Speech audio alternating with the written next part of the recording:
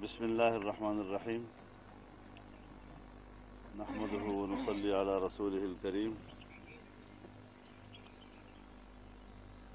जनाब अयाज सादक साहब का शुक्रगुजार हूँ। उन्होंने हमें घर बुलाया और हमें इज़्ज़त दी। मैं दिल से उनकी कदर करता हूँ। जो गुफ्तु उन्होंने फरमाई है मेरे ख्याल में इंतहाई ज़िम्मेदाराना और इंतहाई संजीदा गुफ्तु उन्होंने की है। हमारे मुल्क में इख्तलाफात के हदूद होने चाहिए। हम इख्तलाफ राय का हक रखते हैं, इख्तलाफ राय उसूलों पर करते हैं, करते चले आए हैं, करते रहेंगे। लेकिन किसी को इस बात का हक नहीं दे सकते कि हम उनसे हब्बुल वतनी के सर्टिफिकेट भी लेते रहें। और मेरे ख्याल में क़यामत की अलामत है कि मुस्लिम लीग ही गद्दार ठहरे हैं आज। तो इस हवाले से एहतियात का दामन हमें थामे रखना चाहिए। हमारा वाज मौकफ है कि 25 जुलाई 2018 को धांधली हुई है। हम इस हकूमत के जवाब को तस्लीम नहीं करते। बार बार आप हमसे सुन चुके हैं और अपने मौकफ पे कायम हैं। और आज वही दिन है जिस दिन मैं आज़ादी मार्च में लाहौर से गुजर रहा था इस्लामाबाद की तरफ़। और आज भी इंशाल्लाह आपके साथ वो दिन मना रहा हूँ और यहाँ से इस्लामाबाद की तरफ़ चलूँगा। तनकीद से कोई बालातर नहीं हमारे मुल्क में रसूलुल्लाह सल्लल्लाहु अलैहि वसल्लम की तोहीन हो जाती है, फिर उनको इज़्ज़त व आबरू के साथ मुल्क से बाहर भेज दिया जाता है, उसको तहफ़ फराहम किया जाता है। हमारे मुल्क में साहब कराम की तोहन होती है, फिर उन्हीं लोगों को इज़्ज़त व आबरू के साथ मुल्क से बाहर भेजने के इंतज़ाम कर लिए जाते हैं। लेकिन हमारे इदारे इतने मुकदस हैं कि उसके अफराद भी उनसे ज़्यादा मुकदस हैं कि वो तनकीद से बालातर हैं। हम शायद इस उसूल को तस्लीम नहीं करते। हम तोहनामेज रवैये के खिलाफ हैं। चाहे वो अदालत का, के बारे में हो, जज साहिबान के बारे में हो, जनरल्स के बारे में हो, लेकिन हम अपनी तोहन भी बर्दाश्त करने के लिए तैयार नहीं हैं। इस किस्म की सूरत हाल जो पाकिस्तान में बनाई गई है, जिन लोगों के ज़माने में पाकिस्तान ने माशी लिहाज से तरक्की की, और हमारे मुल्क का तरक्की का सालाना तखमीना साढ़े छह फ़ीसद तक पहुँच गया था। आज सिफर से नीचे गिर गया है। मुल्क का दिवालिया कर दिया गया है। पिछली हुकूमतों ने पाकिस्तान को ब्लैक लिस्ट से निकालकर वाइट लिस्ट से ले गए थे। कोई एफएटीएफ के तहत हमारी कानून साजी नहीं हुई। हमने खुद अपनी पॉलिसियाँ बनाई। लेकिन आज हमारे मुल्क की मीशत कहाँ चली गई है? फिर माशी पॉलिसियाँ कमज़ोर भी होती हैं, माशी पॉलिसियाँ अच्छी भी होती हैं, लेकिन आम आदमी तक उसके असरात पाँच पाँच छः छः साल बाद दस दस साल के बाद मिलते हैं। यहाँ हुकूमत के पहले साल में लोग चीखना शुरू कर गए, महँगाई के हाथों। और पहले ही साल में आपको याद होगा कि छोटे ताजरों और दुकानदारों ने देहात की सतह तक जाकर एहतजाजी हड़ताल की इस वक्त मुल्क माशी लिहाज से दिवालिया हो चुका है और पाकिस्तान के लिए अब ये रिस्क बन चुके हैं। मुल्क की बका का सवाल है, नाजायज हुकूमतें हम पर मुसलत न की जाए धांधियाँ न की जाए, मुल्क की सियासत में मुदाखलत न की जाए आइन किताब के मुताबिक मुल्क को चलाया जाए। पार्लियामेंट के इख्तियार क्या हैं? पार्लियामेंट के हवाले से चीफ एग्जीक्यूटिव के इख्तियार क्या हैं? हमारे दिफाई इदारों के इख्तियार क्या हैं? सिविल ब्यूरोक्रेसी के इख्तियार क्या हैं? उसके अंदर रहते हुए हम मुल्क को चलाएँ, हम एक दूसरे को कोऑपरेट करेंगे। हम उनके साथ खड़े होंगे, वो हमारे साथ खड़े रहेंगे।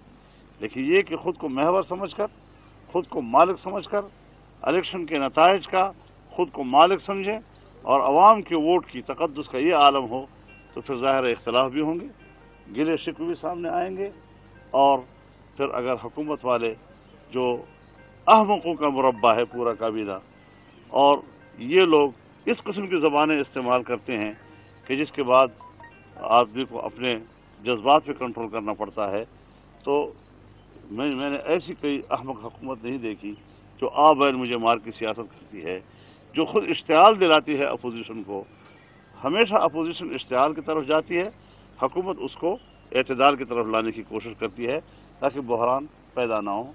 यहाँ तो बहरान पैदा किए जाते हैं। तो इस हवाले से हम अपने मौक़ पे कायम हैं और पी डी एम कायम है। पी डी एम को तोड़ने की साजिश कराची में हुई, लेकिन पी डी एम की जमातों ने अपनी भरपूर हमत अमली से उसको नाकाम बनाया है और अब भी कायम है और हम शेड्यूल के मुताबिक अपना प्रोग्राम जारी रखेंगे। अपोजिशन जमातों की तहरीक जो है वो भी चल रही है। दूसरी तरफ़ आप क्या समझते हैं कि ये हुकूमत कब तक अपने घुटने सेक देगी? हुकूमत तो नहीं है। हुकूमत जिनकी है तो आप कहेंगे आपने फिर नाम ले लिया। मौलाना साहब अयाज सादिक ने जो जो भी कहा कौमी असम्बली में आप उसे इतफाक करते हैं या उसे इख्तलाफ करते हैं? मैं तो समझता हूँ कि इससे भी कुछ आगे जाकर हमें इतफाक करना चाहिए। ये जरा कम है थोड़ा आपने जो बयान दिया आपने जो बयान दिया लगता ये है कि इमरान खान एक जानी तो नरेंद्र मोदी को धमकियाँ दे रहे दूसरी तरफ़ उन्होंने घुटने टेके इंडिया के सामने। क्या ऐसा है? देखिए मैं इस इशू को हम जितना जल्द से जल्द खत्म कर दें जो कि पाकिस्तान के इंटरेस्ट में नहीं तो बेहतर होगा। मैंने वजाहत भी दे दी, मैंने आज भी बात कर दी, और मेरी जो ओरिजिनल क्लिप है, वो भी देख लें कि मैंने क्या कहा। वो साफ़ ज़ाहिर है। अब उसको जो प्ले अप कर रहा है, जो इंडिया इंडियन मीडिया के एजेंडे को प्ले अप कर रहा है वो पाकिस्तान से कोई कोई अच्छा सलूक नहीं कर बस इस इस इशू को छोड़ें आप मौलाना साहब मेहमान हैं उनसे बात करें। मैंने तो गलत बात की नहीं आप माजर करेंगे मैं मैंने बात ही कोई ऐसी नहीं की मैंने तो वजाहत आपको दे दी है। अच्छा मौलाना साहब ये फरमाइए कि आपने तहरीक जो है वो हुकूमत के खिलाफ शुरू कर रखी है जलसों पे लाखों करोड़ों रुपया भी खर्च किया जा रहा है लेकिन एक आसान सा तरीका है आप अदम अतमाद तहरीक जो है वो कौमी असम्बली में पेश करें और हुकूमत जो है वो खत्म हो जाती है क्यों आपको अपने लोगों पर अतमाद नहीं गौर करते हैं मशवरे पे आप। देखिए देखिए दो चीज़ें हैं। सियासतदान का ये भी एक फ़र्ज़ होता है कि वो आम आदमी का तर्जुमान बने उसकी ज़ुबान बने। पी डी एम में शामिल जितनी जमातें हैं और उनकी जो क़्यादतें हैं, वो आज आवाम की बात करते हैं। जब हम आवाम में जाते हैं, उनको सहारा मिलता है, उनको हौसला मिलता है और वो समझते हैं कि हम गरीबों का भी कोई बोलने वाला है, बात करने वाला है। वरना जहाँ तक इस्तीफ़ों का मसला है, यकीनन मैं आपसे इत्तेफाक करता हूँ कि ये बहुत ही मुख्तसर और आसान रास्ता है। लेकिन चूँकि हमारे पीडीएम के आने वाले ऑप्शंस में शामिल है ये तो जो भी तय होगा हम बाहर मुशावरत के साथ जिस मौके को मुनासिब समझेंगे इस ऑप्शन को इस्तेमाल करेंगे। तो उसमें उनको ये कहा है कि हम आपके बयानी का बोझ नहीं उठा सकते। इसमें कितना है। पता नहीं क्या कह रहे हैं। जी। साहब ये बताइएगा तो कि अब्दुल कादिर बलोच की खबर आई है कि वो पीडीएम से इस्तीफा दे गए हैं तो क्या आप उनसे बात करेंगे? मुझे मुझे मुझे इलम नहीं ये बता दें कि मियाँ नवाज़ शरीफ का बयानिया कि हमारी जदोजहद है वो इस हुकूमत के लाने वालों के खिलाफ है। और पीडीएम की क्या ये उठाती है कि हमारा मैंडेट चोरी किया गया इलेक्शन में इलेक्शन चोरी हुआ। अब गिलगित बल्तिस्तान का इलेक्शन होने जा रहा है। क्या आप समझते हैं कि इसी आर्मी चीफ की होते हुए D G I S I के होते हुए वो भी शिफाफ इलेक्शन होगा? देखिए, इस तरह तो आप गिलगिस्तान क्यों जाते हैं? हमारे यहाँ जिम्मे इलेक्शन भी तो होते हैं। तो हम जिम्मे इलेक्शन में हिस्सा तो लेते हैं। आवाम के साथ एक रबते भी होता है। और नतज सामने आएँगे तो हम जिस तरह, इस पर अमल दे रहे हैं, उसमें दे सकेंगे। आज की गुफ्तु से ये महसूस होता है आप दोनों की कि 16 अक्टूबर से जो मौका अख्तियार किया था और कुछ जमातों ने, आप उससे पीछे होते जा रहे हैं। ऐसा महसूस हो रहा है कि आप जो आपका मौकफ था वो बहुत कमज़ोर पड़ता जा रहा है। अयाज अली साहब ने भी यू टर्न ले लिया और आप भी यू टर्न ले लिया। नहीं खाली मैं U-turn कौन सा मैं मैं मैं आपकी नफ्सियात को खान तो नहीं। मैं आपकी नफ्सियात को समझ रहा हूँ। आप एक सहाफ़ी की हैसियत से क्या कहलवाना चाहते हैं हमसे? लेकिन लेकिन मैं आपको बता देना चाहता हूँ कि अयाज साजद साहब के बयान से जो प्याली में तूफ़ान खड़ा करने की कोशिश की गई हमारा ये भी फ़र्ज़ बनता है कि हम अपनी सियासत को उन हदूद में रखें, जो आइन और कानून के दायरे में हों, पाकिस्तान के हुबुल वतनी के दायरे में हों। अगर इस कस्म का कोई इश्ताल अंगेज गुफ्तु करता है और किसी के करेक्टर को तबाह करता है, उसकी हुबुल वतनी को तबाह करता है तो फिर ज़ाहिर है कि उसको नीचे लाना और अपने उस पट्टी पे लाना जो उसका हकीकी मकाम है, उस पर अगर हम बात करते हैं तो आप हमें ये आज दिलाएँगे कि तुम तो पीछे हट गए। खुदा का खौफ करो। मीडिया से खास तौर पर कहना चाहता हूँ कि मुल्क को मुल्क को अगर आग लगती है तो भी आपकी इन सवाल से लगती है। मुल्क को अगर ठंडक मिलती है तो अभी तो गद्दारी का तारुफ बताएँगे गद्दारी का तारुफ क्या है? सब लोगों को गद्दारी के तारुफ के लिए हमूद रहमान कमीशन को सामने लाया जाए फिर उसके बाद पता चल जाएगा। ये बताइएगा ये ये फरमाइए। सिविल लाइन में दरखास्त चली गई है मुकदमे के लिए। आपसे अभी तक पुलिस सुपार ने कोई रबता किया या आपने हमको अपना कोई मौकफ दिया ये बता जब होगा मैं बता दूँगा। अया साहब ये बताइएगा कि आपने कहा कि एक इकाई की आपने बात की। इसी एक इकाई के ऊपर जो है नवाज़ शरीफ का बड़ा तनकीद है उस एक इकाई के ऊपर। आज आप कह रहे हैं आप एक इकाई के साथ खड़े हैं। तो नवाज़ शरीफ के बयानिया से आप लोग पीछे हटते हैं। जो वो तनकीद जो किरदारों के ऊपर कर रहे हैं तो एक इकाई का क्या मतलब है? आप एक को देखें देखें दोनों मुख्तलिफ़ चीज़ें हैं। आप मुख्तलिफ़ चीज़ों को इकट्ठा कर रहे हैं। मैंने जो वहाँ कौमी असम्बली में कहा उसके बाद मैंने जो वजाहत जब हिंदुस्तान की तरफ़ से ये हमारे यहाँ के लोगों ने सोशल मीडिया पे किया और हिंदुस्तान की तरफ़ ये वजाहत भी आ गई और मैंने आज भी वजाहत दे साहब ये फरमाइए कि आप जब गोल्ड गोनस की बात करते हैं तो वो मौलाना कहते थे ये करप्शन है।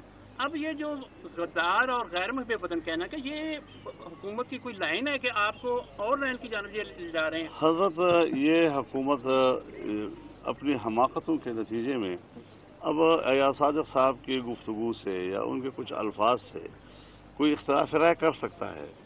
लेकिन उसके रद्द अमल में पुलवामा का ज़िक्र करके जिस अक्लमंदी का मुजाहरा किया गया है उससे भी अंदाज़ा लगाया ना कि वहाँ वहाँ है क्या? वहाँ किस कस्म के लोग बैठे हुए हैं तो मैं नहीं समझता कि इस मुल्क में कोई संजीदा हुकूमत मौजूद है, या कोई कानूनी हुकूमत मौजूद है, या कोई अहल हुकूमत मौजूद है। नाजायज, नालायक और ना अहल हुकूमत इस पर इस वक्त मुल्क में मौजूद है। पे इनके खिलाफ एप्लीकेशन जारी की है इसी हवाले से इस्लामाबाद और एक लाहौर के। एप्लीकेशनों के लिए अगर वो लोग मिल जाते हैं कोई मसला नहीं है क्या असेंबली में कहे हुए अल्फाज बाहर चैलेंज हो सकते हैं? नहीं। नहीं बार हो भी नहीं सकती। पार्लियामेंट इज़ अबाउ सुप्रीम बहुत शुक्रिया।